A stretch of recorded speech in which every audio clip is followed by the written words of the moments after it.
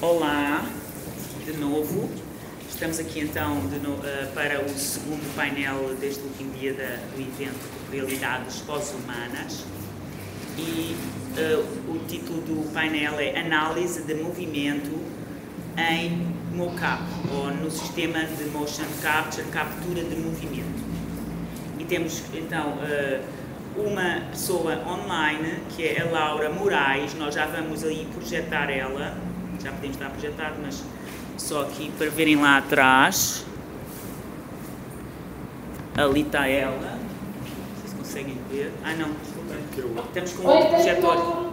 Pronto, ela pelo menos já acusou a, a presença virtual e tem, uh, uh, portanto a, a, Laura ela está em, em no, na Universidade Federal de Rio Grande do Sul, em Porto Alegre, no Departamento de Educação Física e Dança, penso, e a professora doutora, a, a professora mestra Clara, Clara Trigo, aqui na dança da UFBA, e o professor José Garcia, do IAC, Instituto de Humanidades, Artes e Ciências, aqui da UFBA, com o grupo NITRE, que ele vai de, detalhar. Como se chama o grupo? Núcleo de Inovação Tecnológica em Reabilitação. Isso. Então, vamos começar uh, dando a palavra ao professor Garcia. Uh, e, por favor, é, pode começar. Sim, não sei. Okay. Você Isabel, obrigado pela oportunidade. Eu obrigado, acho que a iniciativa que vocês estão tendo é realmente fabulosa, juntar essas pessoas todas. É, mais ou menos o que eu vou tentar falar e discutir com vocês aqui é algo um pouco diferente do que vocês vêm discutindo. Envolve uma visão interdisciplinar, mas um pouco mais dura sobre a compreensão do movimento humano, certo? É, eu sou físico de formação, então aí vocês já tiram uma diferença, que é bastante grande. E, então, a, o, contudo, o aspecto que a gente está tentando trabalhar é tentar resolver um problema que há muito tempo já tentamos resolver. Na verdade, o grupo tem oito anos que trabalha tentando resolver isso, que é a ideia de uma medida é, da complexidade do movimento humano. É entender os princípios básicos que governam a construção, a elaboração, o aprendizado, o controle relacionado ao movimento humano. Isso vai desde a parte de reabilitação até a parte de criatividade, de dança, de robótica e muitos outros, muitas outras aplicações. Sabe? Basicamente, nós utilizamos como instrumento de medida o mocap, que é o nosso instrumento mais preciso, vamos dizer assim. Vou chegar mais pra cá. O problema é essa luz também, cara. Que... É, para vocês, né? Não, tá mais visível. É, tá claro. É, tá bom. E cego também, né? Ah. Mas tudo bem. Então, um pouco essa ideia. É, eu estou coordenando o grupo que eu comentei antes, o NITRE, Núcleo de Inovação Tecnológica em Reabilitação. E já o grupo existe há mais ou menos uns 15 anos, não, 14 anos, e especificamente com outros nomes. A grande questão do grupo é análise do movimento. Uma das grandes questões do grupo é a questão da análise do movimento. Sobre várias perspectivas, perspectivas neurológicas, perspectivas biomecânicas, perspectivas criativas. Então, o movimento é um aspecto definitivamente essencial da vida. Né? É, não existe vida sem movimento. Um exemplo muito interessante que eu costumo brincar quando estou no Skype, às vezes, eu chego e brinco e fico parado na frente do Skype. Aí as pessoas falam assim, ai meu Deus, desconectou, não estou ouvindo você. É porque quando você não tem movimento, você acha que caiu a conexão, ou que não tem movimento, ou que você... Porque movimento é, de fato, essencial. Então eu vou começar com uma questão, um, trabalho muito legal, que foi feito pela Suzana, de Campinas. Eu vou um pouquinho brincar com vocês que é esse videozinho aqui, certo? Esse vídeo daqui, deixa eu ver se consigo, não, aqui, vamos ver. Eu quero que vocês me digam o que representaria esse vídeo. Como eu estou com a plateia bastante razoável aqui, o que, vocês acham que é esse vídeo? Andar. Andar? Andar. Hum. Cruzando. Cruzando assim, né? Tal. Isso não é absolutamente nada, são pontos aleatórios se movendo. Certo? É Pontos aleatórios se movendo no espaço. Agora, esse daqui, e por isso que vocês tiveram opiniões diferentes, né? Agora, esse aqui eu duvido que vocês tenham opiniões diferentes. Pois é, né? Na verdade, isso aí são só pontos caminhando no espaço, se movendo no espaço. Mas você, o seu cérebro, reconhece isso como um movimento claro, típico, estereotipado, que é o da marcha, do caminhar. Então, o nosso cérebro está acostumado a reconhecer esse tipo de padrão. Beleza. E esse, por último, esse aqui só para a gente se divertir. Opa, volta. Não está muito claro aí. Ah. Música já ajuda, né? É.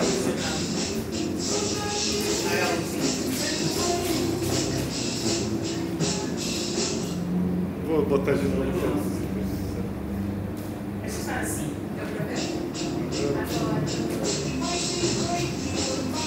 Da mesma forma, são pontinhos se movendo no espaço, mas seu cérebro reconhece como um corpo se movimentando dançando dimensões. Não só a música, mas o movimento também. Então, de alguma forma, nosso cérebro se adaptou a compreender o movimento e se especializou no movimento. Então, é a importância do movimento. No final, a gente vai discutir sobre essa questão de movimento melhor. Mas, então, as grandes questões que, que vêm é: existe um padrão de movimento humano que é genuinamente humano? Essa é uma das questões muito interessantes. É, distúrbios motores de fato afetam esse padrão? Se existe esse padrão? E que é o mais interessante de todos, que é o que a gente busca há oito anos, de fato, focados nisso, se existem princípios gerais que governam esse movimento. Na literatura existe um monte de coisa sobre isso. Eu não vou entrar em detalhes sobre isso. São oito anos buscando, não é um grupo sozinho, é o NIT, é o LEF, é o FESC, é a Universidade da Bahia, o, o Laboratório Constitucional lá de Boston, que trabalham tentando responder essa pergunta. De fato, a última pergunta e as outras duas também. Ok? Qual a última pergunta de novo? Como? A última pergunta de novo? A última pergunta. Existem quais são os princípios físicos que governam o movimento humano? Em termos de como existem princípios na natureza, como a gravidade, como a termodinâmica, eu como físico posso fazer isso direitinho, mas será que existem esses princípios em relação ao movimento humano? Evolutivamente, não é uma pergunta interessante de se fazer? É difícil de responder, mas é muito interessante de se fazer, pelo menos. Sim? Você está bem na frente do da cachorro, É. deixando um pouco. É porque eles querem que eu fique na luz, eu não quero, eu Não, odeio essa não, luz. é só para ficar mais na imagem. Pronto, aí o pessoal tá me vendo ali. Para não estar Isso assim fora. Então, peraí. Dá pra ver, dá pra ver. Não é para ver, é porque fica fora da imagem. Tá bom. luz aqui, assim. Não, não, tá ótimo. Não, tá bom, tá bom. É, não, a, a penumbra me favorece, com certeza. Não, eu não a luz aqui. Já entendeu? É palco, né? É no palco. Penumbra me favorece. Então, então, uma das premissas muito interessantes em relação ao se estudar esse tipo de coisa é um conceito muito legal, que é o conceito da velocidade de conforto. Que é, a gente pode, eu costumo experimentar muito isso, se vocês tentarem se mover muito rápido, fazer um movimento muito rápido, é desconfortável, você não consegue ficar muito tempo movendo, você tem que mover rápido, cansa, é ruim, mas também mover muito lento é muito desconfortável o movimento. Eu lembro que assisti um filme uma vez de um monge que ficava. O filme inteiro ele dava dois passos. O filme inteiro. Duas horas para ele dar dois passos. Dava uma angústia, eu não conseguia, era horrível. Porque isso é difícil. Então existe uma velocidade que a gente chama de velocidade de conforto, que é essa velocidade que a gente usa para se movimentar. Certo? É, só que essa velocidade ela depende de vários contextos. Por exemplo, ela não é a mesma se você está correndo do ladrão aqui na Aldina. Ela é diferente. Ela não é a mesma se você está com medo, se você está ansioso, se você ama, se você não ama. É diferente. Se você está fazendo um carinho, é mais lento. Se você está com raiva, ela é diferente. Então, existe uma velocidade de conforto, mas ela é mais maleável em relação a, ao contexto que você está. Certo? Isso é uma das premissas que a gente precisa assumir para seguir adiante. Inclusive, da, do tipo do movimento que você está fazendo, etc. E aí tem algumas premissas muito legais que já se conhecem na literatura, são os princípios que eles chamaram de isocronia, isogonia e mínima rectitude. São coisas muito, muito legais. Quando eu descobri isso, eu fiquei encantado. A primeira é, se você vai escrever uma letra A pequena, você gasta um tempo para escrever essa letra A. Se você vai aumentar a letra, você gasta o mesmo tempo. É estranho, né, cara? Ah, é isso mesmo? Sério? Não é. Pensa assim, um azinho. Agora faça um azão grande. Você gasta mais ou menos o mesmo tempo que você... Você aumenta a velocidade para manter esse tempo. Isso chama-se princípio da isogonia. Isocronia, que o tempo é igual. Iso é igual, crono tempo. E o outro, que é muito estranho também, pode passar aqui, fechado. É. é o da isogonia, que é, enquanto você está construindo ou desenhando um objeto, eu falei um objeto desenhando, mas pode ser qualquer tipo de movimento funcional.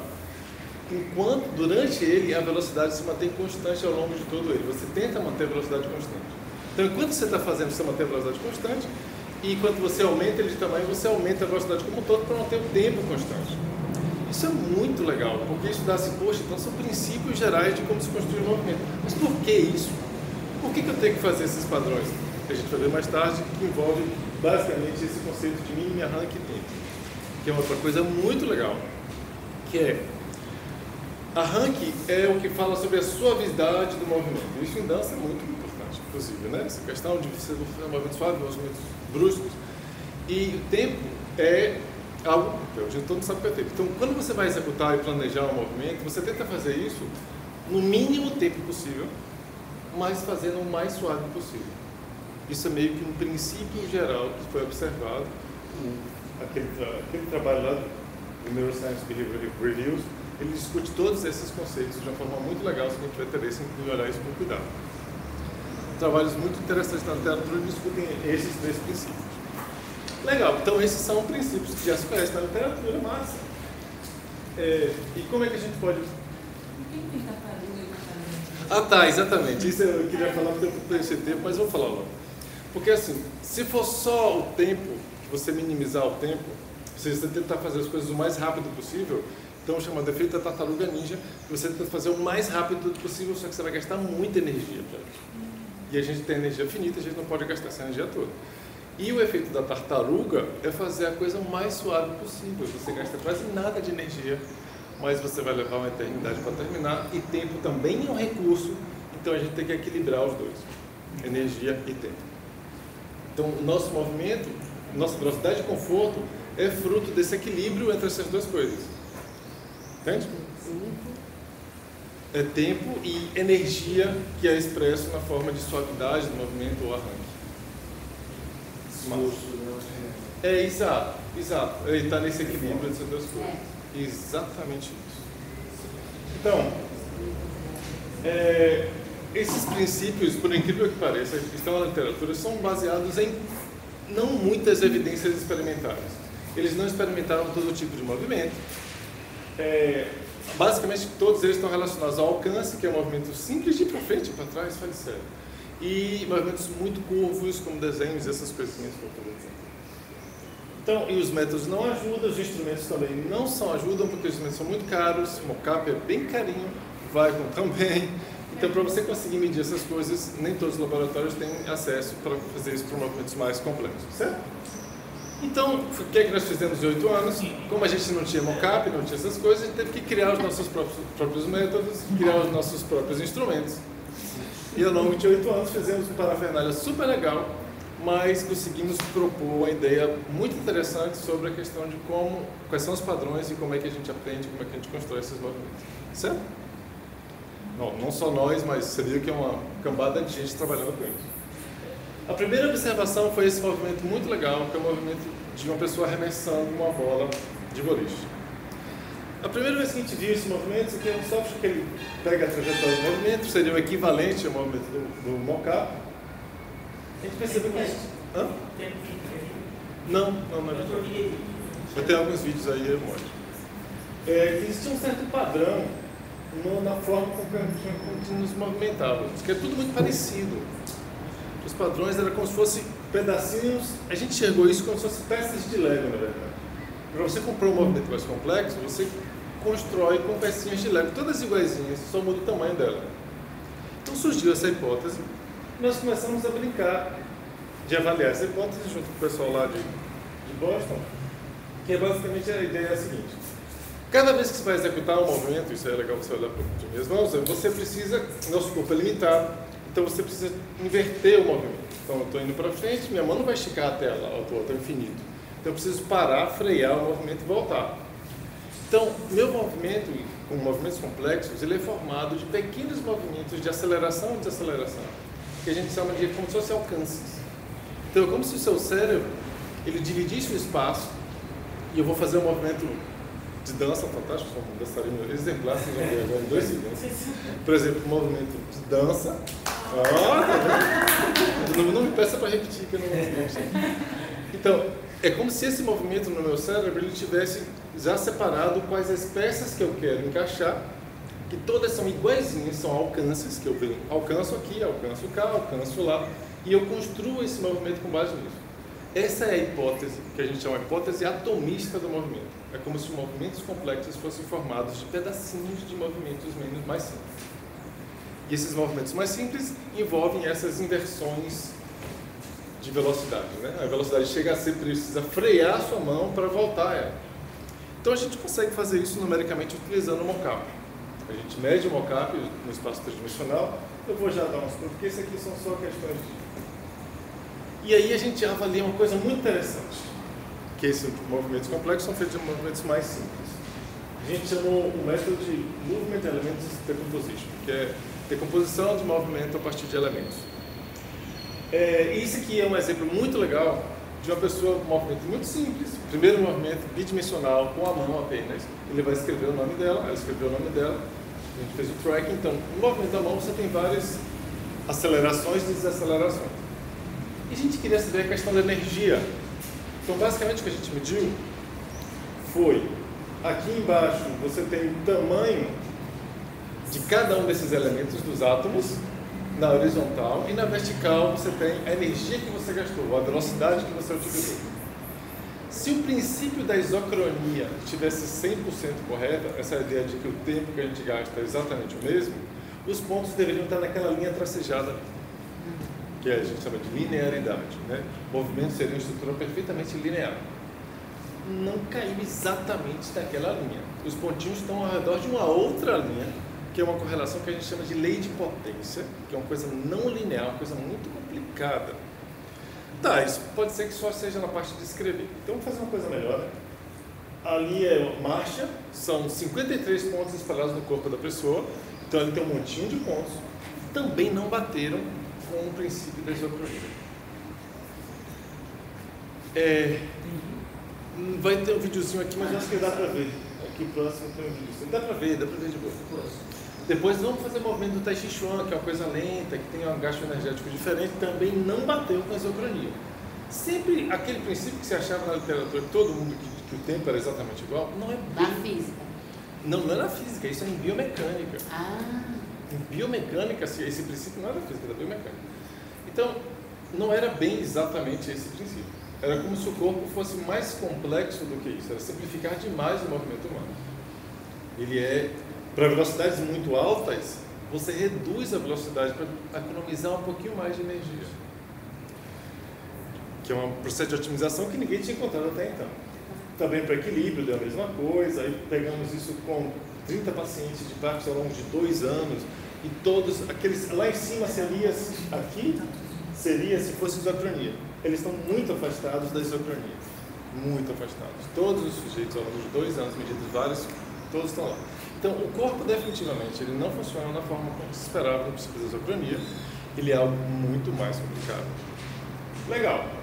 Fizemos para vários outros dança, movimento de maestro, Tai Chi Chuan, e aí vai. Nenhum chega nem perto do princípio da isocronia. Beleza.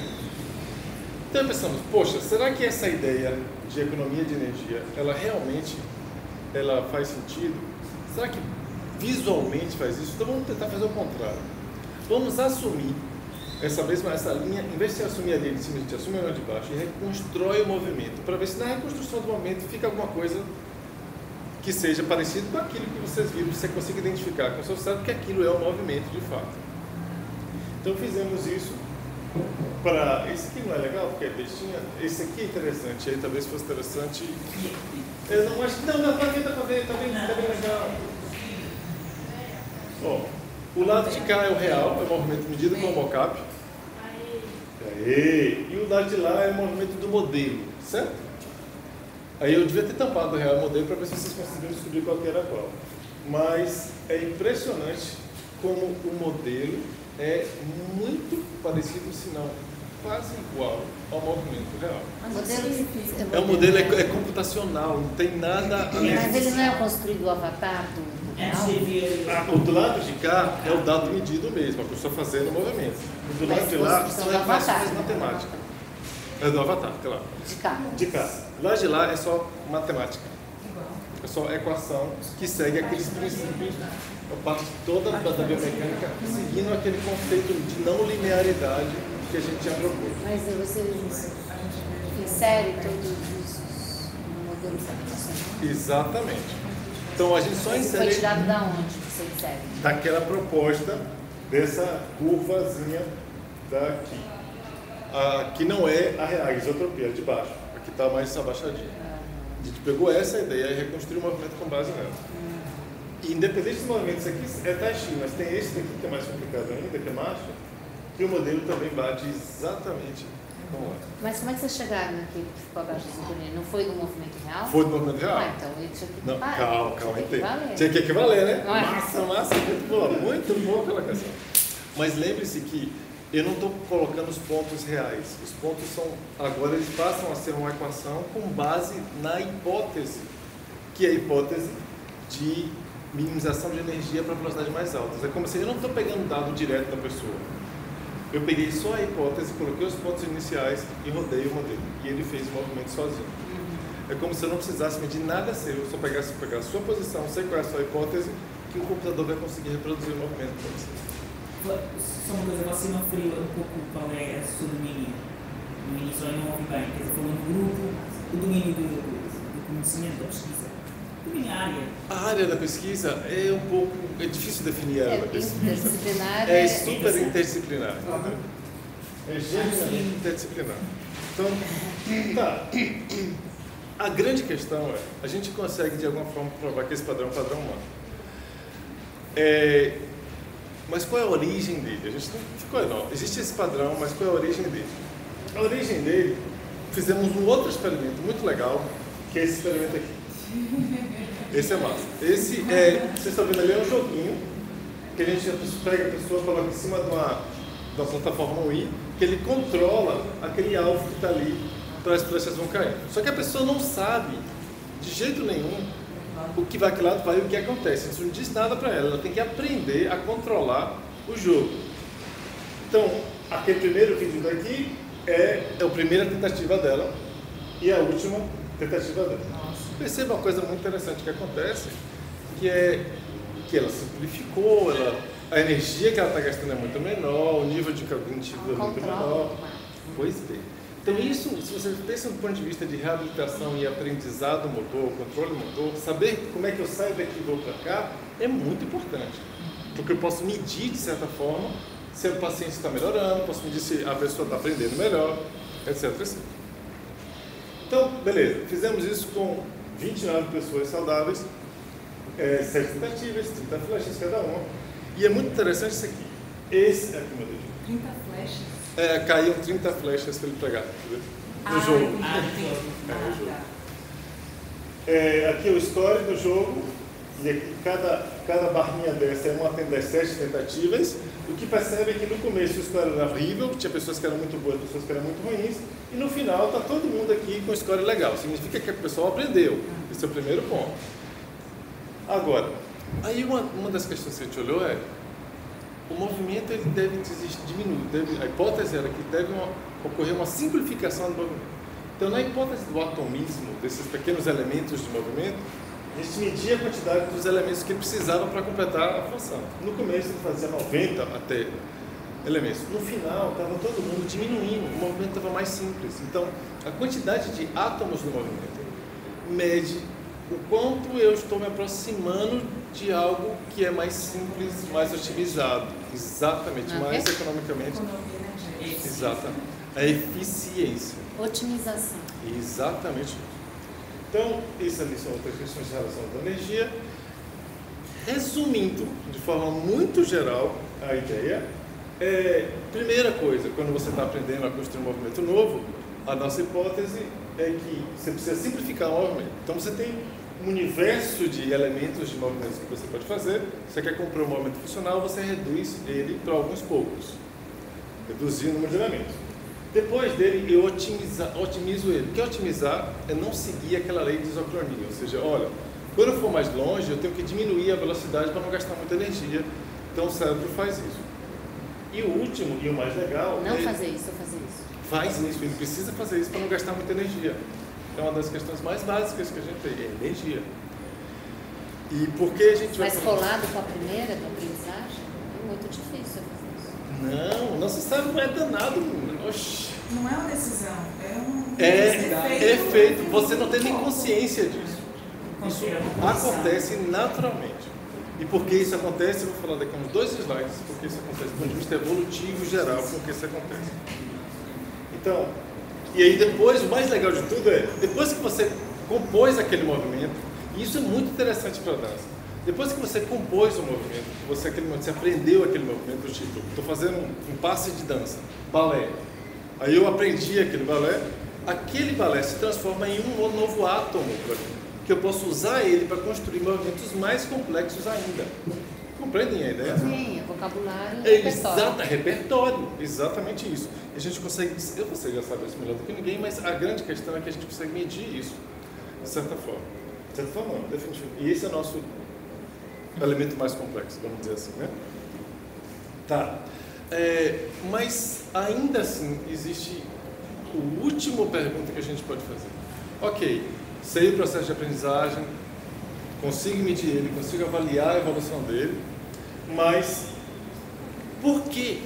É a última pergunta que a gente está procurando resolver hoje, hoje não, atualmente, é por que ele é tão importante para o cérebro, para o ser humano? Por que, que na evolução do ser humano, na evolução, parece ser isso, né? É. Mas é abrir- muito abrir mais do que espaço isso. Para novas aprendizagens. Muito mais do que isso. Isso envolve uma questão muito simples. Nós passamos 99%. Se você pensa que o tempo da humanidade foi de um milhão de anos, é o estimado atualmente, desses um milhão de anos, nós temos apenas 10 mil anos onde a gente parou de estar nas savanas.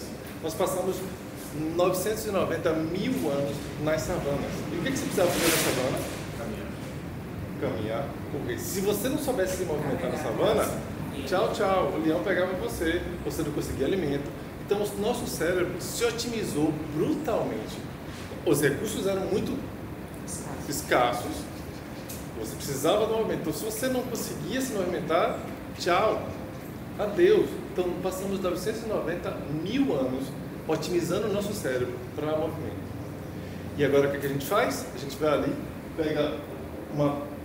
Qual é daquele negócio? Empada. E uma empadinha, que é uma bomba de calorias fabulosa, que a gente passaria três dias para conseguir essa mesma quantidade de calorias na savana, come, senta na frente da televisão e fica lá mudando o canal. Né? É muito legal isso. Não diga isso, Desperdiçando. Estamos, carisma aqui. Então, estamos desperdiçando 990 mil anos de, de evolução e otimização. É bizarro isso. Então, fala. Não, e trocando as capas musculares né, dos grandes para que a nossa sustentação cheia de empadinhas se dê com a musculatura intrínseca da sustentação que fica arruinada. Ainda porque tem. fica fazendo, uma fazendo inverso o papel no lugar da outra. Mas isso também é evolutivo, essa questão de ficar sentado lá, mas isso é uma outra história. Involutivo. É, é uma outra história, É, o porque é o canivete, né? É, Assim, né? não é bem assim. É. Tá. Mas, então, o movimento sempre foi a base da nossa sobrevivência, definitivamente. E, por fim, tem uma questão muito interessante que essa criatura, o Daniel Wolpert, que ele tem uma hipótese muito legal, é de que nós só existe cérebro porque nos movimentamos. A evidência mais legal disso é esse bichinho, que é a tunicata, que ela parece professores da universidade. Eu vou explicar por quê depois. Porque ela, enquanto ela se move no oceano, é um animal que ele se move, depois ele se fixa no coral.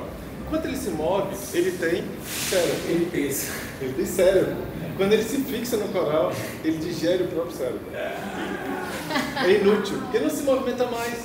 Então ele para de se movimentar. É, mas é isso. Professores também são titular. No celular, Não é exatamente, eu não preciso mais gastar essa energia sustentando um cérebro que consome muito para ficar parado lá filtrando água. Então a hipótese é muito legal de que sem movimento não existe cérebro de forma nenhuma. Existem discussões sobre isso, certo?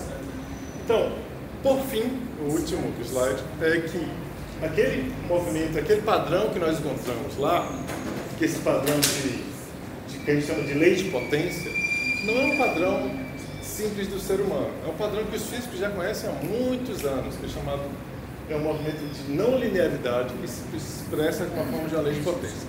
Isso também ocorre para aqui é massa de animais em relação à taxa metabólica. O mesmo efeito acontece. Acontece também em terremotos, chuvas, montanhas, massa dos planetas, cidades e comunidades. É o mesmo efeito, é como se fosse que a forma que a natureza tem de otimizar as coisas. Quais são essas variáveis aqui? Aqui desse de cá? Deslocamento. Aqui é o tamanho do, do, do bullet, então, tipo, o tamanho do átomo, e aqui é a velocidade do átomo, que pode ser expressa em forma de energia também. Os paralelos que você montou, qual que é das espécies? É que essa, essa inclinação, esse padrão de não linearidade que a gente chama, porque esse aqui parece ser linear, mas na verdade esse aqui como é log-log, ele é uma curva. Esse padrão não linear, ele ocorre, e esse, com esse mesmo efeito, essa mesma lei de potência que a gente chama, ele ocorre em vários outros fenômenos da natureza. Então, isso não é uma propriedade humana de otimização, isso é uma propriedade universal de otimização, que o ser humano também tem. Então, desenho naquelas formas de, de rendimento, de trabalho, potência útil, potência principal, todas aquelas coisas. Tem uma palavra muito bonita para ele, chama segunda lei da termodinâmica, que encaixa todas essas coisas. Hã? Entropia, que está relacionado com aquela coisa que a gente não sabe, ninguém sabe o que é, que a gente chama de entropia. Então, é como se fosse um padrão geral. E aí, muitas vezes o ser humano acha que a gente é o centro do universo, que a gente é diferente da natureza, mas não é. Os processos de otimização da natureza são os mesmos nossos processos de otimização. Exatamente igual. Para fechar, o último slide. Então, generalizando ainda mais, né? resumindo e generalização, descobrimos as notas que compõem a música do movimento biológico. É, a estrutura da música é a mesma observada em vários outros elementos naturais. Então, o que, que a gente conclui? Que o compositor é o mesmo. Ou seja, Meu Deus. não. Que Não, não. O compositor, no sentido dos princípios que governam o universo, são os mesmos. Entendeu? Quase demais. Era isso, Isabel. Obrigado, muito obrigado. Esse é o nosso grupo. Esse é o grupo brasileiro, esse é a parte da, de Boston e de Bom, Esse aqui é o nosso grupo aqui. Aqui, presidente Vitor, João Norberto. Tem gente. Marcos Fonseca. são Então, estão nesse grupo. Com isso. Estão nesse artigo. Sim. Tem, tem, né? tem pessoas de várias De áreas. várias áreas. IAC aí, tem psicólogo, tem fisioterapeuta, matemático, físico. Todo mundo trabalhando nessas coisas malucas. IAC que a é realmente. Um instituto interdisciplinar né? E permite essas ligações. E tem vários grupos não é, interdisciplinares, como o NITRE. Exato. Nós também co- colaboramos, o laboratório de mocap não é, com o EcoArt, muita relação bio e ambiente, também utilizando o sensor e tal. Agora, eh, vamos, vamos, você não, não pode ficar, não é? Eu quero hein? Então, Ah. nós fazemos, não, tudo bem. Nós aí vamos incluir alguma discussão com sair conceitos que você apresentou e vamos agora apresentar, eh, vamos, vamos passar para a Laura e depois você, tá? Ou, ou tanto faz. Então, vamos apresentar já aqui a, a professora eh, Clara Trigo e depois seguimos para a Laura. Tudo bem, Laura? Dentro do grupo de pesquisa. Ok. Então, por favor, Laura. Ah, claro. Tem, tem, tem o. Tem, mas não precisa colocar agora. É, então. Bom, boa tarde. É, tô- obrigada pelo convite, Isabel. Estou bem feliz de estar aqui, assistir todas essas apresentações e especialmente é, depois de tantas falas que fazem tanto sentido eu já venho pesquisando, é, vai dar para fazer várias relações, mas especialmente feliz de ter assistido essa, essa fala já dialogando com o professor Garcia. É, por vários motivos. Um deles é que, para quem dança, pensar é, movimento a partir de estudos que são tão redutores do movimento acaba nos gerando pontos de partida que dialogam um pouco. Então, pensar em estudar a complexidade do movimento é justamente é, o caminho que a gente precisa trilhar, né? Assim, e fazer essa conexão mesmo. A gente está o tempo todo lidando com um movimento integral, complexo, e, e é realmente muito difícil pensar o que é que é bom ou ruim se você está reduzindo para um único plano, um único trecho, uma única articulação. Não, não tem como expandir um padrão a partir de uma coisa tão reduzida, né? Então, muito, muito bem-vinda essa, essa pesquisa, quer dizer, bem-vinda já tem muito tempo, eu que fiquei sabendo agora. Mas muito feliz de saber, quero me aproximar. É, eu atualmente sou professora da Escola de Dança da UFBA e faço parte do grupo de pesquisa DC3, que é liderado pela professora Lela Queiroz. E Isabel me pediu para falar sobre um, começo de pesquisa que, na verdade, eu, eu, participei de um trecho de uma pesquisa que tem um contínuo lá na Universidade Estadual de Londrina. É, no grupo PyFit, o grupo de, de pesquisa PyFit, que é liderado pelo professor Jefferson Cardoso Rosa. E é, o, é, dentro do laboratório de Biomecânica e Epidemiologia da UEL, que é essa Universidade Estadual de Londrina. E como eu há alguns anos trabalho com o desenvolvimento de estratégias motoras e, e repertório de movimento e inclusive de procedimentos metodológicos, que é objeto do meu estudo, chama que é, se sintetizou com a expressão estabilidade poética, né, com esse conceito, metodologia, modo de operar.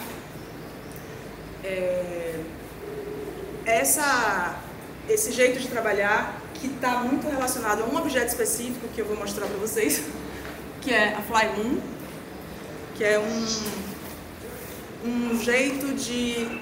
que foi uma concretização material de um desejo pela instabilidade, um desejo poético e, digamos assim, é, pedagógico também, e pensando em tudo que me motiva em termos de treinamento pessoal, em termos de é, desafio, né, de, de, possibilidade de me desafiar. Então, isso apareceu, é, esse objeto concretizou uma série de desejos e, e de maneiras de entender o mundo que eu já vinha experimentando e que meio que ganharam forma assim sintética nesse objeto. Ele é a, a, modificação de um objeto que já existia no ambiente de Pilates, que faz parte da família de arcos que o Pilates desenvolveu.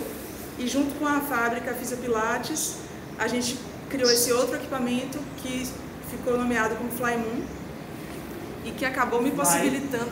Fly Moon, voa lua, lua que voa, lua flutuante. Esse objeto do ambiente de Pilates, o objeto do ambiente de Pilates, que é diferente desse, ele tinha uma estrutura é, muito parecida, mas um pouco diferente, diferente o suficiente para não, não ser o mesmo, né? É, feita para ser estável. E é, a grande mudança conceitual e, e física foi colocá-lo na posição instável. E a instabilidade trouxe à tona diversos novos é, jeitos de expor o corpo ao movimento e de ter que lidar com o movimento a partir da instabilidade. Né? Então, para mim, assim, resumidamente, dentre muitas outras coisas, abriu uma brecha metodológica diferente da que eu vinha praticando enquanto professora de Pilates mas já estava na dança, já estava na minha prática como professora de dança, mas era, era como se fossem mundos que não se cruzavam. E com a estabilidade foi possível criar um intercâmbio entre esses mundos.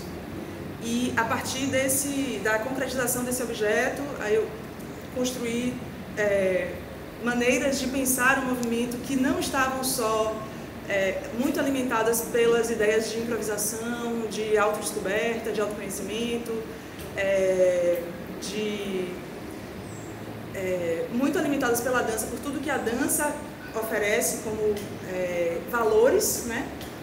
Mas eu estava dialogando muito com um pessoal que vinha de outras áreas que não, não artísticas, áreas da saúde, educação física fisioterapia principalmente. Então, é, foi possível começar a fazer trânsitos entre esses aspectos da reabilitação é, e do imaginário, da fantasia, da poética, né, e trazer e entender como parte da saúde também. Como o Winnicott diz que. É, agora eu esqueci a citação dele no começo, mas que a criatividade é como se fosse um colorido que você dá a qualquer aspecto da sua vida. Né? Ou. Enfim, vou lembrar depois. Mas especificamente é, essa ponte com a, esses campos da saúde é, é, me levaram né, para esse lugar, que é do qual eu vou falar mais especificamente, que é o Laboratório de Biomecânica e Epidemiologia da UEL. E lá, tava, nesse laboratório, os pesquisadores estavam trabalhando na reabilitação de um jogador de futebol que tinha tido fratura de tornozelo, do tornozelo direito, e ele tinha fraturado os dois maléolos. E a reabilitação dele estava na fase de desafios motores, de desafios de instabilidade, de... ele já tinha feito a cirurgia, já tinha feito uma série de é, recuperação de amplitude de movimento, de planos e tal, ele estava numa fase de, de, se desafiar. E dentro do laboratório eles não estavam mais conseguindo é, estratégias de desafio. Para ele estava tudo muito fácil. Ele tinha, vinha com uma bagagem de variabilidade de movimento muito grande. Então, as, os, os protocolos de desafio motor que estavam previstos dentro do, do campo de reabilitação estavam insuficientes para gerar o desafio que ele precisava para a reabilitação. E foi aí que a Flymoon entrou e eu participei é, auxiliando com, oferecendo alguns recursos de movimento, né, indicando possibilidades de movimento mais ou menos desafiadoras ali para ele e foi muito gratificante, muito interessante. Esse é um artigo que vai ser publicado em breve, está sendo revisado. E é, daí também, desse encontro lá com o laboratório, fizemos, aproveitamos para fazer análises de outros oito movimentos feitos sobre a Flame principalmente de membros inferiores. E aí a análise biomecânica desses outros oito movimentos também vai gerar um outro artigo que está sendo trabalhado. Aí vou mostrar para vocês a... É, tá. você quer colocar, uhum. um, um trechinho da, da análise. Localiu o projetor.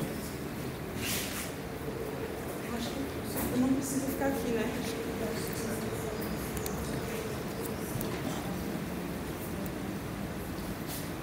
Ah, sim, então. Tem como aumentar? Querem. É, se calhar é. Ah, tá bom assim. É, aqui é melhor. Vou aumentar aqui a imagem. Eu acho que não tem como aumentar, Tem. Eu acho que tem. Não tem. Ah, tá. Pai Fit é lá de Londrina. Pai Fit é de Londrina, é. Então, essa é uma análise da marcha, a princípio, né, com a plataforma de força. Eles têm um, um equipamento muito completo, eles têm a plataforma de força, o mocap, né? primeiro tem essa análise da marcha, mas só assim, ilustrando é, o funcionamento do, do procedimento. Você anda e ele dá para ver, depois ele traduz isso em termos de ossos. Né? Deixa eu ver só isso está enquadrado. De força também. Desculpa, aqui não está muito enquadrado. Mas aí vamos passar já para o outro, não tem problema. Não, é só para, para perceber que está enquadrado ali com o projetor. Passamos para o outro então. Certo. É, essa é a captura de um dos oito movimentos que a gente decidiu capturar. E aí a gente está. É, eu estou sobre a plataforma de força e os sensores estão colocados sobre a Flymoon e também pés e pernas. Né? fazendo análise de pé, tornozelo. É um movimento bem específico de tornozelo, de transferência de peso, lateral lateral. É, e aí a gente vai ver a análise dele depois. Aqui neste caso, em mocapa, a diferenciação entre o corpo rígido, não é? A pessoa, não é? Uma, e, e o corpo rígido. Diferenciação em termos de categoria, não é? Passamos para o outro. É a imagem do jogador é, sendo no processo de reabilitação, é, experimentando alguns movimentos que foram realmente desafiadores para ele nesse, nesse processo. E foi muito então, interessante quando eles viram, quando os, os pesquisadores, os fisioterapeutas do laboratório viram finalmente que ele estava tendo um desafio, ah, esqueça tudo que você tinha visto sobre é, propriocepção. Agora. agora é. E de fortalecimento não é, nesta situação. É. Como o corpo vai ajustando. E a instabilidade, ela te coloca necessariamente numa situação de é, ativação muscular involuntária, né? E, e, os ajustes, como a gente viu na apresentação do professor Garcia também, eles são incrivelmente rápidos. Você faz uma vez, é de um jeito, na segunda vez já é diferente. E se você passar uma semana sem fazer e voltar lá, já é, mesmo sem você ter treinado, entre aspas, né? Tem ali aquele trabalho em segundo plano que vai é, ajustando para preparar para aquele movimento. Vocês registraram diferenças quando o pé dele está o pé lesionado está atrás? Sim, há diferenças. É, não é. Não, é, não sei te dizer agora, Diego, se esse, essa é uma ênfase no artigo, mas certamente no exercício, nesse, nessa proposta de movimento, é uma grande diferença. Está na frente e está atrás. Está na frente faz muito mais força. É. Então é isso. Boa, muito obrigada, Clara. Uh, vamos então agora passar para a última apresentação do painel. Estamos um bocadinho atrasados, mas uh, eu penso que a apresentação da Laura não, também não é muito longa, que eu disse a ela por volta de 10 minutos, certo, Laura? Certo, isso aí, é 11 minutos no total, 10 e pouco 11. Tá bom. Então, uh, deixa por aqui você em grande e depois a gente passa para o seu vídeo, não é? Quando for. Tu vai primeiro colocar o vídeo? Não, vou pôr. Tá, tá você, é você agora aí. Estamos a ver o teto. Oi? Estamos a ver o seu teto. Ah, o teto da sala, não estamos a ver você. A câmera, isso agora. Ah, tá, desculpa. agora sim. Ah, agora foi aqui, ó. Vá. Tá se vendo já? Peraí, só um pouquinho, é que agora a propaganda aqui. Não, você tá aparecendo sem, sem propaganda. Tá só você. É. Eu, eu não tô me vendo aqui. Não tá vendo ainda? Não, porque ele tem um pequeno delay. No stream o stream, certo? Agora vai dar, peraí. Agora foi. Ok, então vá. Oi, pessoal!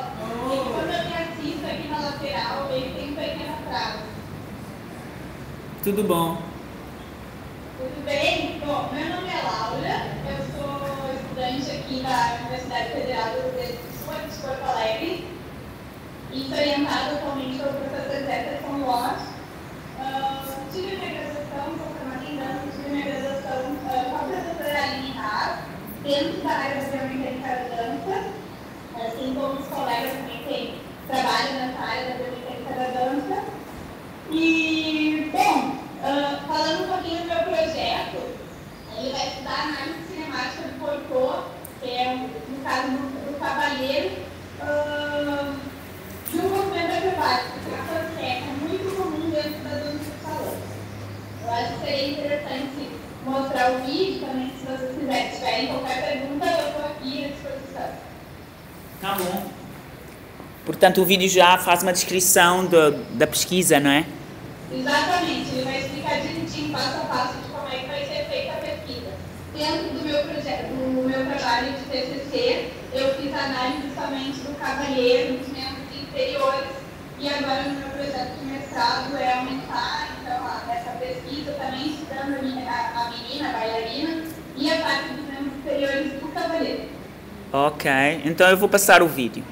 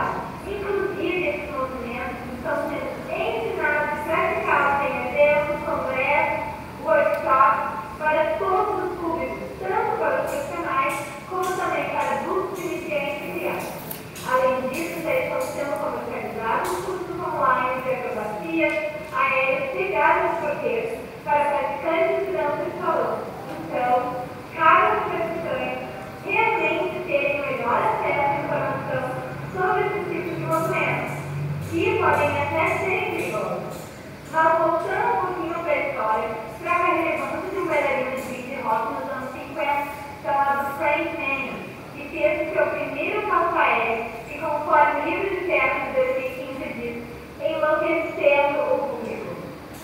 Naquela época não eram realizados movimentos acrobáticos, mas acredito quando Frank Manning perguntou para mim pelo Brasil em 1941, influenciou a nossa dança de salão, o que pode ter sido um dos motivos da inserção desse movimento acrobático dos nossos anos, como no de gafieira.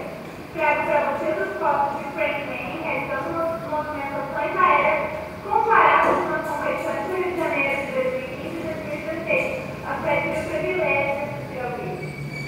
Vocês vão achar parecidos e no livro de terra de 2015 ele traz uma situação progressiva e relata que Linkin Rock proporcionou o surgimento de diferentes estilos de rock and roll e dance, como jazz e o rock acrobático, a partir de sua riqueza coreográfica e movimentações aéreas. Que o filme Assim Era a Música retrata um casal executando balão com cadeirinha, o pica-pau e balão apagado. São executável com o intuito de shows passou a se tornar mais acrobático e rico em efeitos após a década de 1990. Então, chegamos na parte mais esperada, a panteca. O que é a Bom, primeiro eu vou mostrar para vocês esse é o movimento acrobático.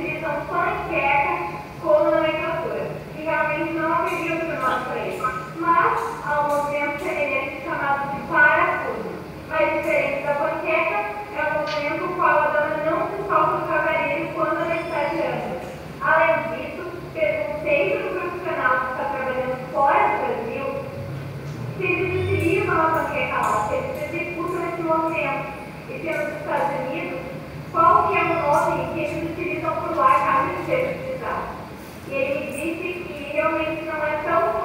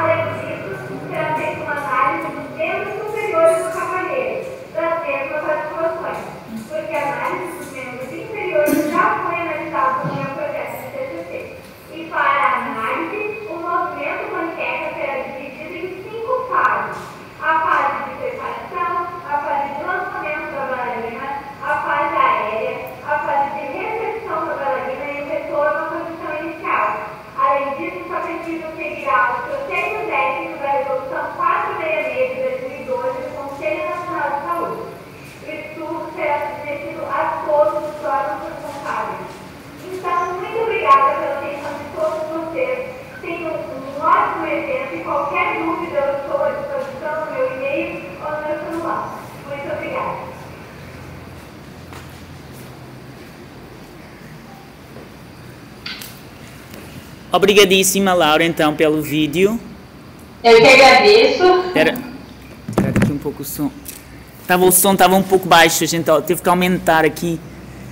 mas uh, é normal, não é? A pessoa faz o vídeo.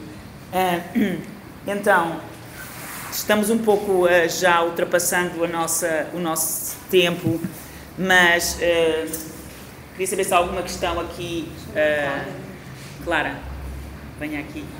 Lamentamos, mas o professor, o professor José Garcia teve que ir embora. Ele tinha um compromisso porque realmente estava marcado para finalizar ao meio-dia e meia. Nós, desculpem, fizemos uma, tivemos um atraso e aí ele tinha já compromisso. Vocês estão com escritos no rosto, melhor arrumar isso? É só, não, eu vou só pôr ela uh, aqui em, em, em mais, mais imagem. Vamos pôr você aqui atrás, onde é que está? Em ampliação, que é assim ficamos com a sua ampliação na nossa cara, pelo menos. Quer que eu desligue o celular? Não, mas não, vocês não. duas não aparecem para as pessoas na internet. Vocês aparecem sim. Aparecem sim. Aparece. É? Pronto, nós estamos aqui a ver aqui, porque nós aqui deixámos de nos ver, de nos ver a nós, mas, Bem, é. mas está, porque está, ela está aparecendo ali e nós estamos a aparecer aqui também. Ou seja, ela está aparecendo ali, mas a tela. Então, pronto, assim estamos a. Não é? Tá, mas não tirou, Laura. não tirou o que tem no rosto de vocês que eu estou falando. Mas está bom, mas tá você não está, não está interferindo. Não, coisas, você está está nos a ver a, na nós também, não está? Está-nos a ver. Mas tem coisas da internet no rosto delas. Mas estava assim o tempo todo. Não faz mal, não faz mal.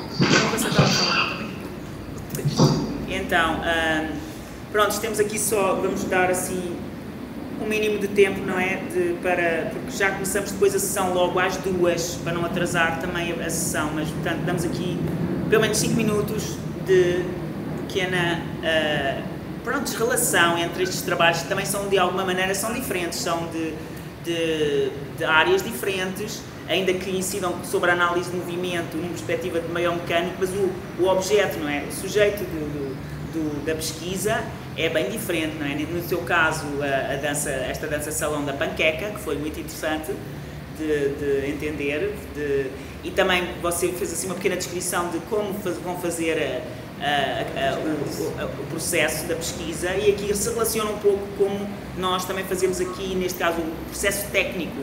Primeiro põe os marcadores, depois vai fazer os takes, depois analisa, analisa o quê? Biomecânica. A nossa análise não tem sido a biomecânica, daí também me interessar por perceber como é como vocês estão querendo fazer e para quê, não é? Fazer esta pesquisa com o mocap. Uh, Isabel, fala um pouquinho mais devagar, está difícil de entender. Tá bom. Então, é, mas é, basicamente é isso, de perceber realmente a, a, a utilização do, do sistema de mocap para diferentes estilos de dança, para objetos de estudo, no seu caso, a panqueca, de ver como acontece, como é que se processa na, para que fins de educativos, né? da pessoa aprender, de ensinar e da pessoa ter uma ideia de como, não é, é tal, e, aí eu volto, link logo com uma eficiência do movimento, de, não é, de, de perca, não perder tempo com, com ensaios e, não é? Aí eu estou fazendo o link um pouco também já com o professor Garcia. Ainda, Isso, utilizar a energia, também, né, da forma certa.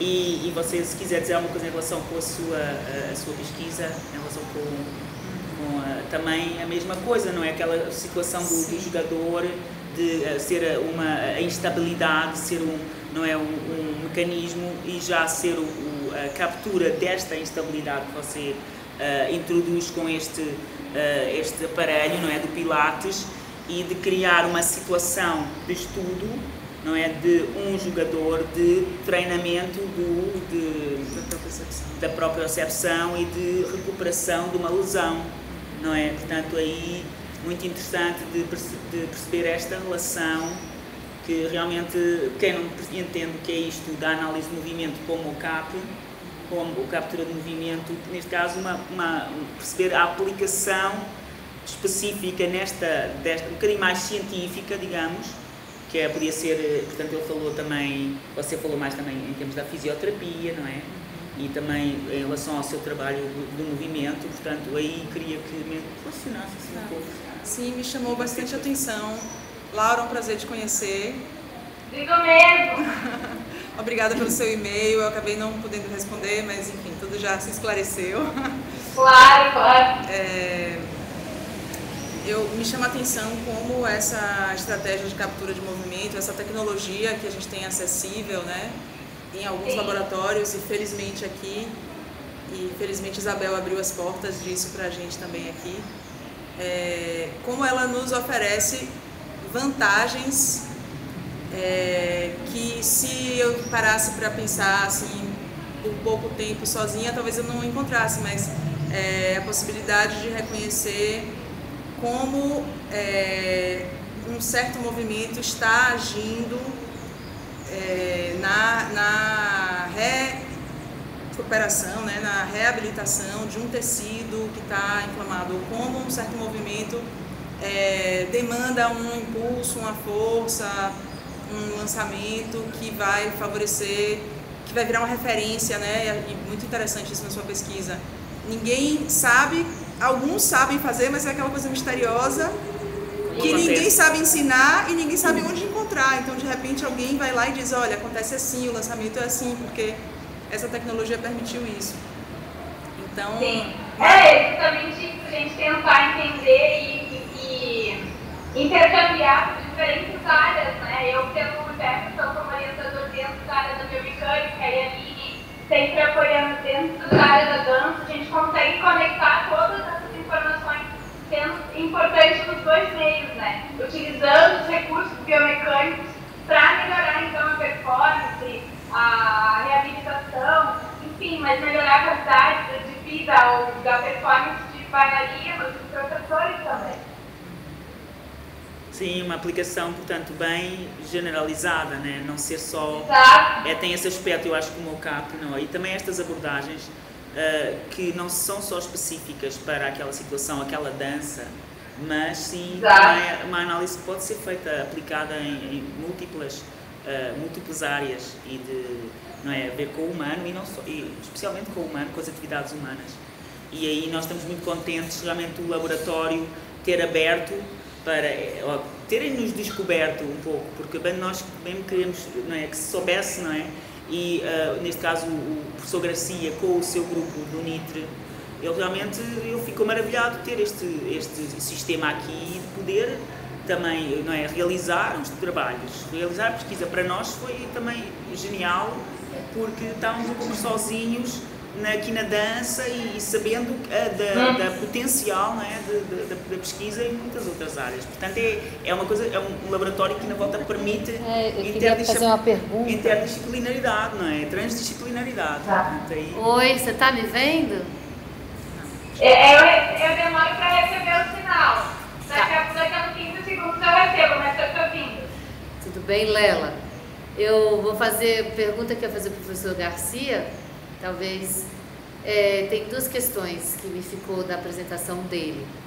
Uhum. É, a tecnologia foi um recurso ou até a extensão onde ele foi de dizer da complexidade, ele também considera que parte foi a própria tecnologia que revelou. Porque uma coisa, a sensação que eu tive é que foi apenas um recurso. Sim. Comprovou que ele já tinha como perspectiva de, de comprovar. Então, é, essa é uma pergunta uh, que fica no ar. E a outra coisa é a perspectiva da biomecânica. Quando eu comecei a pesquisar, é, era essa perspectiva redutora e determinista e até certo ponto é, do sujeito não implicado, como se a construção do entendimento biomecânico suplantassem a pessoa. E como as pesquisas da somática iam na direção desse autoconhecimento, desse processo interno, a biomecânica, no meu entendimento, para pesquisar dança, ficava muito limitada. Como eu estou vendo aqui várias pessoas com, os laboratórios que ter um pé na fisioterapia, um pé na física, um pé não, na reabilitação, na desenvolvimento, mas colocando a biomecânica, eu fico com essa pulga atrás da orelha, né? É, como que a biomecânica pode responder a questões no corpo que dança, que eu sinto que hoje já tem outros parâmetros é, que vêm de, de outro lugar do que a biomecânica. E a segunda coisa é a cinésio, enfim, a kinestesia, a propriocepção, uma série de outras coisas, né?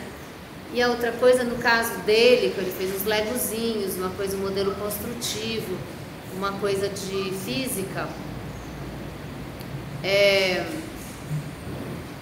e ao mesmo tempo que ele fala da complexidade humana e se vale da marcha, e vai para o Tai Chi Chuan, é, e ele fala da reabilitação em Parkinson, e os processos que ele foi se valendo, para mim, biocomportamentais, fazia todo o sentido de estar ligado ao biomecânico, mas não fazia sentido da somática porque ele foi para a caligrafia, que, que para mim reforça um corpo como instrumento é, de, de, de, uma coisa que esse corpo desenha e faz no tempo e espaço mas que não é como na dança, que é o movimento no corpo. Quando ele pega uma coisa e lança, faz todo sentido, gente. Só estou aqui uhum, levantando a bola, problematizando a questão do funcional. Porque para a gente que dança, o mero funcional não, não dá conta, entende? Você que fala da panqueca, tentativa e erro, tem um livro meu até que tem lá um capítulo que fala um pouco sobre a questão é, da tentativa e erro talvez te interesse, né? Na uhum. verdade, como a gente tem um processo complicado colonialista e de aquela coisa de país subdesenvolvido, nós somos o país da tentativa e erro, né? Então as artes não escapam disso. Então as pessoas se viram como pode, né? Então, por exemplo, é como você falou, 30 mil pessoas podiam fazer a panqueca, mas três fazem, né? Porque reduz muito a possibilidade. Então, no processo de autodescoberta, só pela tentativa e erro, você está uh, comprometendo um pouco né, o sucesso da, da operação. Né? Então, achei muito legal o que você está fazendo. Acho que tem uma pesquisadora que com a Suzanne Foster que fez uh, nos Estados Unidos, na Califórnia, e agora me faltou o nome dela, mas se você mandar o um e-mail eu faço contato ela estudou as, o, o, elemento sincopado do samba, na, no seu componente de construção é, em dança com a Suzanne Foster. E é muito interessante, né? E acho que a panqueca cairia mesmo num, numa mesma linha, entende? Uma, uma, uma... a, a, a para além da maestria, é realmente como, né? Como ser um processo anti-lesão, de queda, de superação de medo, de confiança, sabendo como aquilo se faz, né? E que você saber como se faz não vai matar a panqueca ser bacana. Parece que para a panqueca ser bacana tem que ser super dotado, né? E se você explicar como ela acontece, vai ficar mole e aí um monte de gente vai fazer e pelo contrário, vamos democratizar, vamos socializar o conhecimento. Desculpa se eu me estendi, mas eu queria ouvir vocês. Eu posso, eu posso falar um pouco sobre a minha opinião, tá? Uh, um pouco sobre a questão somática e a biomecânica. Uh, eu vejo que são áreas um pouco diferentes e todas estudam para o mesmo ideal. Todas estudam para a melhora, para a qualidade do bailarino, para, enfim, para o aprimoramento, para a sensação. Cada uma vai trazer um recurso diferente, uma forma diferente de estudar uh, a dança. A biomecânica vejo ela muito como um recurso de melhorar uh, a parte técnica, a parte estrutural do bailarino. Digamos que é bom a gente sentir, mas às vezes se a gente vê de fora para dentro, assim como é importante ver de dentro para fora, o movimento é importante ver de fora para dentro para que assim a gente evite algumas outra, alguns problemas, alguma lesão, enfim, qualquer situação que possa ser prejudicial para o bailarino. E eu vi muito dessa história de dançar e não saber o que eu estou fazendo. Eu, eu sentia, eu vivia, mas ao mesmo tempo eu não, eu não sabia se o que eu estava fazendo era certo, se era bonito ou feio, mas isso também a gente acaba não podendo discutir, mas eu, eu sentia muito essa vontade de entender como é que as coisas funcionaram de uma forma estrutural, uma forma física, uma, uma forma de eu ver, ah, isso está alinhado, isso está certo. Então, eu, pelo meu desejo enquanto pesquisadora, eu fui um pouco para essa linha. Então, eu vejo muito a somática, ela acrescentar, assim como a biomecânica acrescenta informações ao guarani. Isso enquanto a minha opinião, não sei se eu respondi os seus desejos. Você respondeu? Ela respondeu? É, eu, eu parto de, até certo ponto, essa tua interpretação coloca a somática e a biomecânica como é, recursos equânimes e eu vejo completamente diferente essa questão.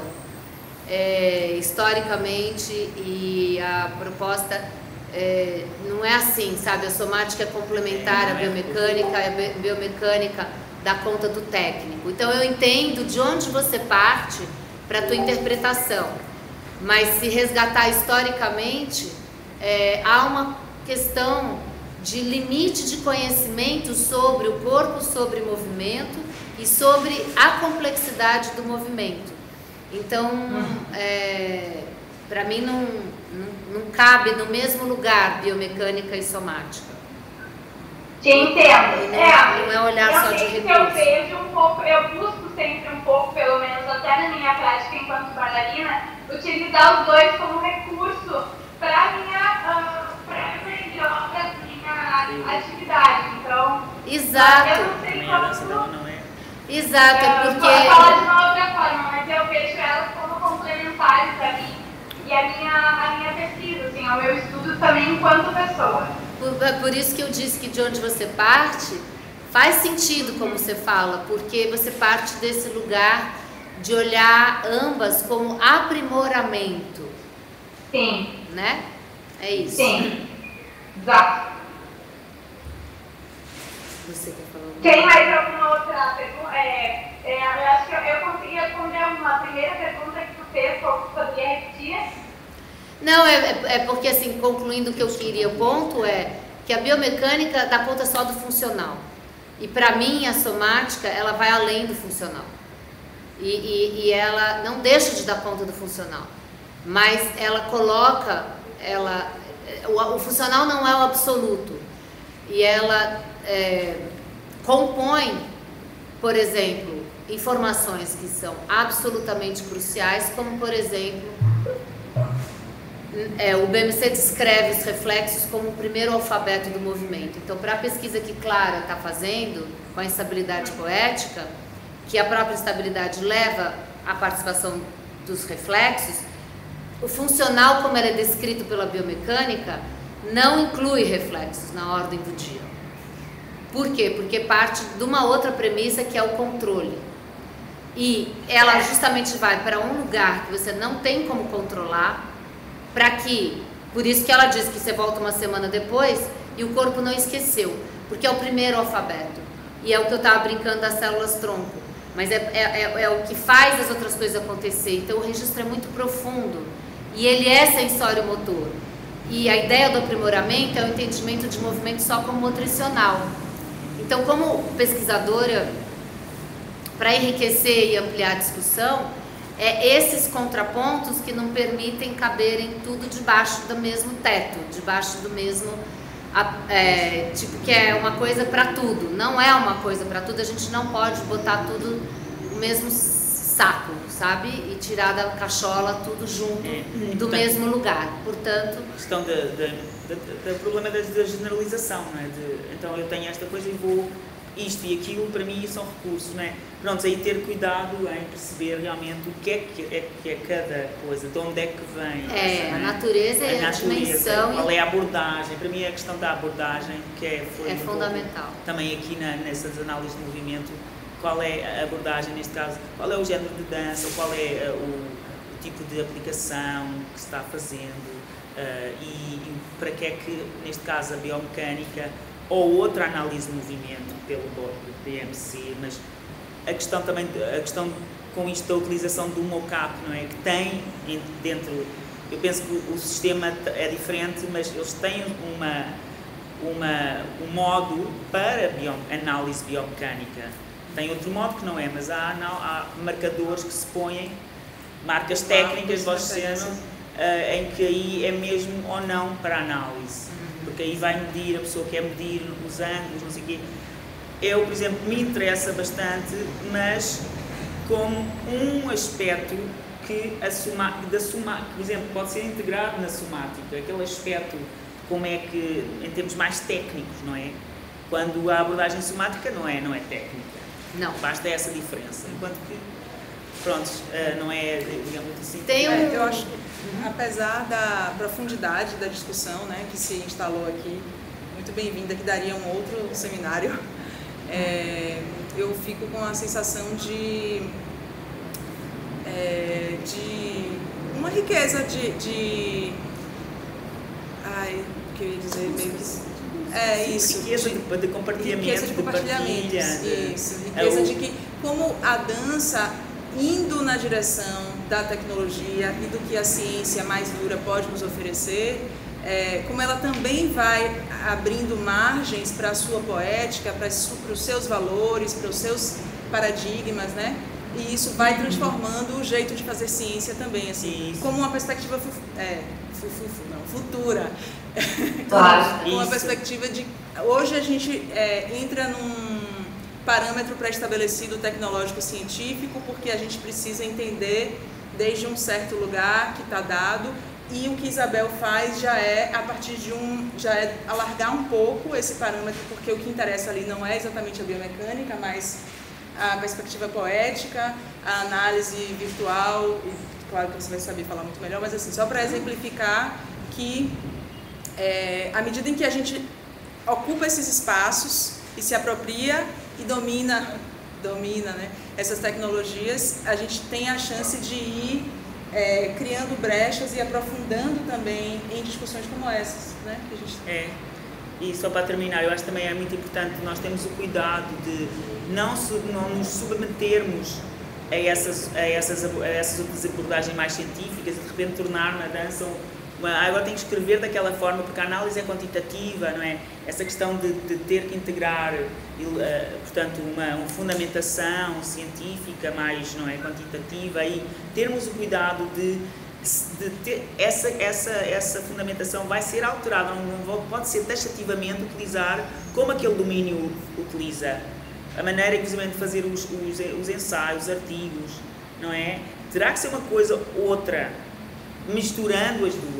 Então, a questão da, da interdisciplinar, assim, mas, por exemplo, eu vou utilizar a coisa, é outro contexto, aí eu vou, não vou só submeter, mas como é que se faz nesta situação? Não, eu, eu vou alterar também. Não, a nossa, a nossa claro. dança é assim. É, inclusivamente bom... os marcadores, por exemplo, eu, eu, por mim não tinha, a gente tem um, um, uma roupa, não é? Eu, eu quando eu aprendi não tinha roupa a coisa da roupa, o tipo, por exemplo, os marcadores quando eu fazia eram duros. A pessoa ia para o chão, não é? E ai, aleijava-se com os marcadores. Agora os marcadores já são flexíveis, portanto, eles não, a pessoa tem que não é, fazer determinadas demandas, não é?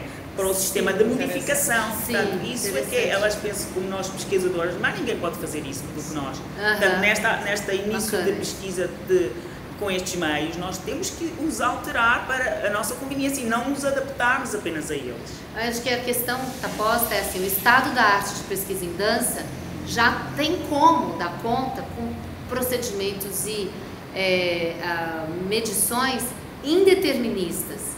Então, numa, no, ao longo do tempo, historicamente, você precisava ir com os recursos que tinha. Ah, então tem que ser para provar cientificamente a biomecânica. Ah, tem que ser em termos funcionais, porque a ciência só aceita termos funcionais. Então é a questão da gente é, questionar que hoje já pode ir para outros uh, uh, campos de, de captação de, de análise que prescindem disso, que já não estão presos ou redu reduzidos a essas visões científicas que ficam um pouco datadas, que hoje já tem tanto mocap e outras a, a brechas, como está sendo colocado aqui, é, de proposições que possam não precisar ficar limitadas a, a, a esses espectros de antes, entendeu? Que não tinha outra coisa, então tinha que fazer com esse. Mas eu gostaria de refletir e questionar. Por que, que eu preciso só descrever funcionalmente? Por que, que a análise tem, não pode ser indeterminista no nível de complexidade que o professor disse? Que a complexidade de movimento é muito maior do que toda a explicação científica dele, né? Então, caminhemos. Isso. Bem, vamos terminar, a gente depois volta a falar, vamos, vamos não é, tentar criar esta conexão, continuar com conexão, outro, outro claro. Eu, eu, a, a, minha pesquisa, eu vejo muita pesquisa como uma forma de agregar conhecimento. Então, acho muito importante, até se a gente puder seguir falando por aqui, por e-mail, por uma forma de comunicação, até para entender um pouco melhor e trazer isso, essas informações, essas relevâncias no meu projeto. Isso, é uma Mas ideia de. E tudo mais. É uma, é uma ideia interessante de criar-se, por exemplo, encontros online. Não é? Porque Perfeito, é o interesse é mais é este network, não é? esta rede de se criarem mais pequenos eventos, a gente combina e aí vamos ter uma discussão. Para quem quiser assistir, não é? Não temos de estar sequer fisicamente aqui, isso, não é? Isso. Telepresencial. Telepresencial. Acho que podíamos, eh, pode, pode ser uma ideia, intercâmbio. É. Exato. Eu teria um maior prazer de ir para aí. Eu, a gente pode, inclusive, combinar para até eu estar mais perto de vocês, conhecer um pouco melhor todos vocês. Ah, Pesquisas em dança, pelo menos aqui no sul, elas existem, mas elas são restritas. Quanto mais acesso a gente tiver, mais a gente puder intercambiar, melhor vai ser para todo o conhecimento de, de todos, a, todos os alunos, pesquisadores, futuros pesquisadores. Isso. Muito obrigada, sim, Maura. Obrigada. Um prazer Eu agradeço. É mesmo. Foi o maior prazer ter participado. Também. Uma grande honra. Obrigada É para nós o- que nos fazem refletir, estudar mais, ter mais, mais vontade de pesquisar, investir nosso tempo, nosso amor em tudo isso. Isso, muito obrigada, então. Legal. Nós então vamos terminar aqui a nossa sessão, este segundo painel, e voltamos uh, pelas duas e um quarto, uma vez que estamos atrasados um pouco e temos que ter tempo para almoçar, é muito pouco tempo, só um quarto de hora. Portanto, eu até penso tipo duas, entre as duas e duas e meia mais, para termos algum tempo, tem, começou tudo atrasado. Então contamos com vocês, na, mais à tarde é, o painel são projeções, aí começam a ser mais a, a abordagens artísticas, ah, e não só ah, com diferentes interatividade, portanto aí não é só motion capture, mas diferentes tecnologias, e não, tão, não somente somática, mas tendo a somática assim como ênfase. Então até já e obrigada por nos acompanhar. Eu que agradeço. A Já, tchau, tchau.